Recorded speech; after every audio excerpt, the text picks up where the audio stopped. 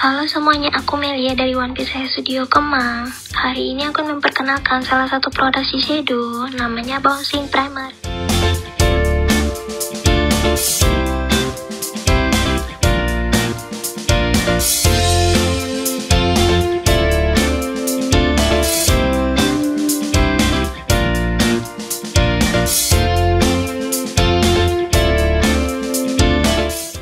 Ini dikhususkan banget buat kalian supaya rambut lebih bervolume atau kalian yang merasa terlalu lepek, kalian bisa pakai produk ini.